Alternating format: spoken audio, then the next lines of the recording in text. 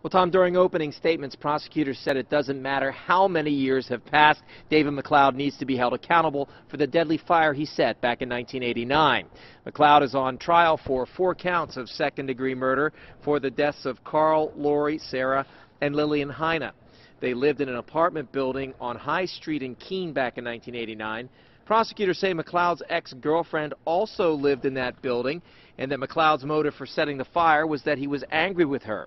Prosecutors say he threatened to set the place on fire, mocked the displaced residents in the street, and bragged about it afterwards. The state says that when he learned four people had died, McLeod changed his tune. He had meant to burn, he had meant to destroy and displace, he had meant to strike back. But he didn't mean to kill.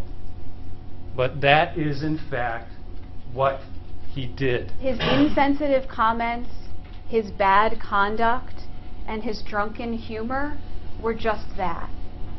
He was drunk and he was stupid, nothing more. The defense says it was physically impossible for McLeod to start that fire, and his ex-girlfriend herself provides him with an alibi.